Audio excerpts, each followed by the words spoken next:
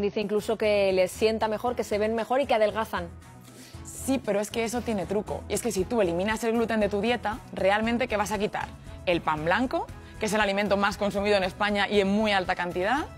Productos como las galletas, magdalenas o bollería, que llevan gluten, pero también llevan mucha harina blanca, mucho azúcar, muchas grasas refinadas de mala calidad. Claro, al retirar todo eso, quitas un montón de calorías, con lo cual es posible que pierdas algo de peso. Y además quitas muchos ingredientes que son proinflamatorios, que te hacen la digestión más pesada, que te hacen sentirte más hinchado.